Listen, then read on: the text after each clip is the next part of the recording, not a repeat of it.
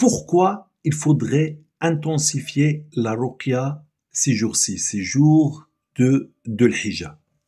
Assalamu alaikum mes chers frères et sœurs, j'espère que vous vous portez bien.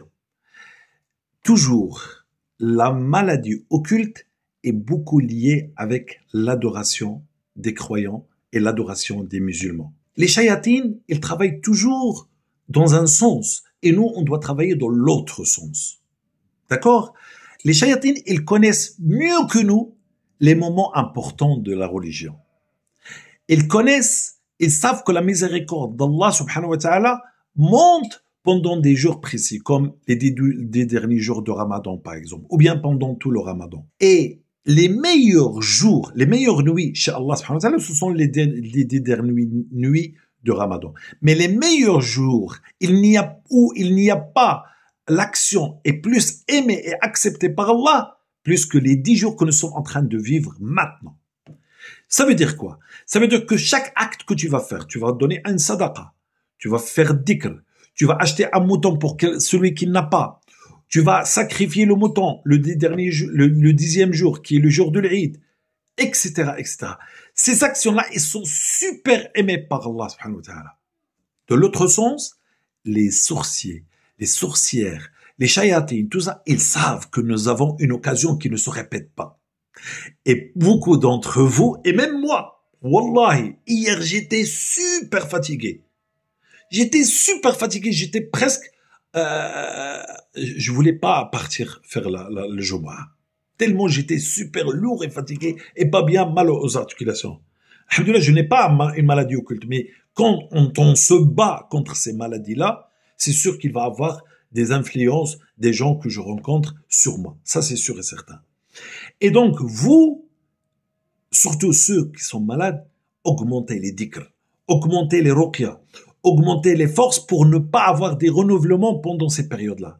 Il faut que vous utilisez ces occasions mieux que eux pendant ces dix jours.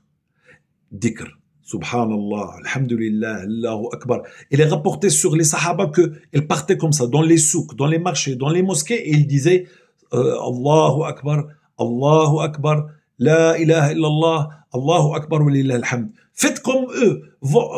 Partez dans un endroit de votre maison ou dehors, etc.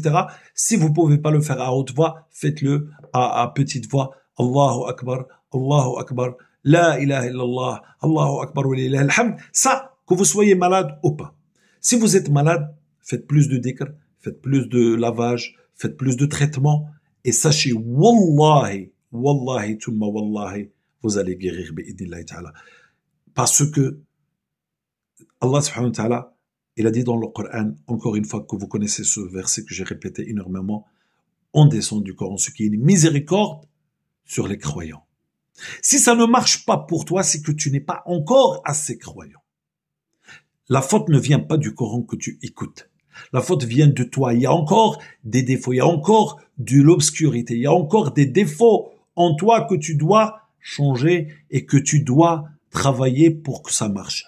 Le, Coran, c'est comme, c'est comme de l'eau, c'est comme quelque chose de bien. Converse, si l'endroit est sale, l'eau converse, même s'il est propre, l'eau qui est à l'intérieur de nous va devenir sale. Donc il faut verser encore et encore et encore jusqu'à ce que l'eau qui est en moi devienne propre.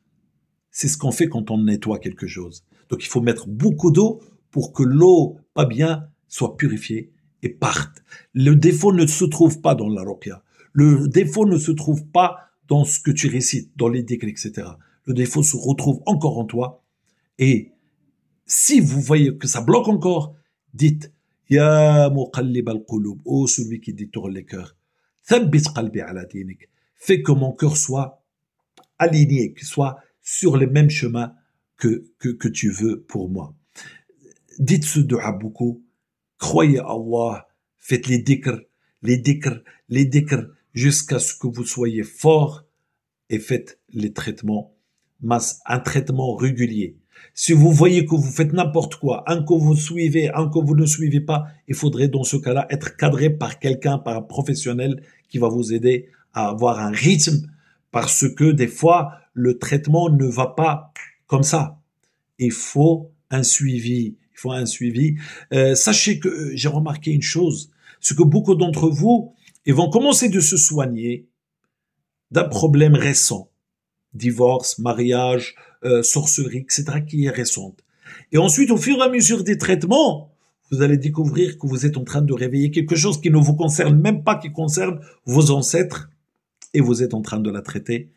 Et sachez que vous êtes en train de faire du bien à vous et à vos descendants et à votre famille quand vous vous soignez d'un mot qui a été fait au passé, avant même que vous existez. Traitez-vous, guérissez-vous et qu'Allah pardonne tous nos péchés. N'oubliez pas de faire les sadaqas. Euh, si, surtout pour le mouton, euh, Allah subhanahu wa aime ceux qui donnent la valeur euh, au, au, le mouton, c'est pas une question de mouton. Le sacrifice, c'est une sha'ira. Il faut lui donner de la valeur. Donc ne pas dire, oui, mais moi je vais donner sadaqa, etc. Non, achète un mouton. Si tu n'arrives pas à égorger en France ou là, dans un pays qui n'est pas musulman, au moins achète pour une famille qui va en profiter. Et au moment d'égorger le mouton, ils vont penser à toi.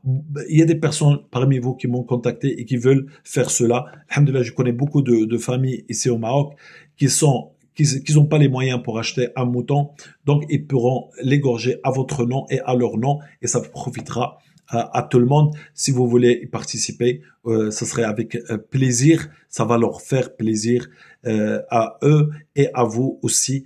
Comme ça, vous avez fait sha'ira min sha'airillah. Sha'ira très importante. C'est pas une question de, de, de os ou de viande ou de sang. C'est une question de donner de la valeur. La, la première des, des, des, des adorations qu'il y a eu depuis Adam les, deux fils de Adam, c'est ils ont Allah leur a demandé de faire nusuk, égorger euh, quelque chose pour Allah subhanahu wa ta'ala. Allah, il va ni prendre le sang, ni l'os, ni la viande, walakin Allah subhanahu wa ta'ala, il voit est-ce que tu donnes de la valeur ou pas assez. Parce que je vois, wallahi, surtout quand j'étais en France, je vois que beaucoup de gens donnent, donnent beaucoup d'intérêt à des, à des choses futiles et à des fêtes qui ne sont pas à nous et ils oublient. Ils disent oui, mais je suis pas chez moi, etc., etc. Euh, oui, mais nous on mange la viande tout le temps, etc. Non, c'est une question de donner la valeur à au sacrifice. N'oubliez pas que dans ces jours-ci, il y a le neuvième jour qui est euh, un jour très béni et que celui qui va le jeûner, inshallah, on va le jeûner ensemble, celui qui va le jeûner le neuvième jour, et Allah subhanahu wa lui pardonnera les péchés de l'année dernière et de l'année qui vient. Et pour finir, pour ne pas faire trop long pour vous, s'il vous plaît, partagez au maximum. Parce que chaque personne qui va faire les actions que je viens de citer, même si toi tu les fais pas, Allah subhanahu wa ta'ala va te récompenser. Partage au maximum là où tu peux ce message. Et inshallah, ceux qui vont le faire, ceux qui vont l'appliquer, Allah peut-être il va les guider et Allah va changer leur situation. Et tout ça, ça va être grâce à toi avec un petit clic où tu vas envoyer ça sur WhatsApp et sur des réseaux sociaux. Barakallahu fikum. Wassalamu alaikum wa rahmatullahi wa barakatuh.